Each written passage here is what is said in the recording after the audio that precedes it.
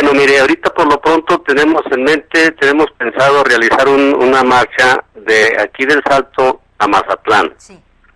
Eh, el día jueves en la mañana salimos de aquí por ahí a las 8 de la mañana, primero Dios, y nos iremos reuniendo con la gente, los ejidos de Sinaloa, y esperamos llegar a, a Villa Unión el jueves por la tarde, y de allí unirnos con la gente que viene del estado también de Nayarit y del sur de Sinaloa.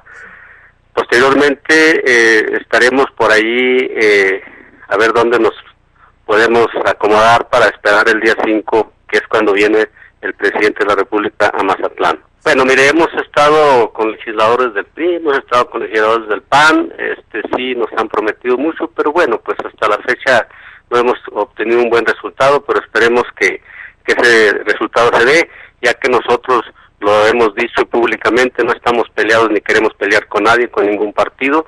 Nosotros en nuestro ejido somos eh, nada más campesinos, no queremos que esto se haga política. Eh, aquí hay campesinos ejidatarios de todos los partidos, por lo tanto sí quisiéramos que todos los legisladores de los partidos políticos nos echaran la mano y estamos al pendiente a ver qué respuesta nos obtiene. Claro, claro, porque pues hasta la fecha eso ha sido puras promesas.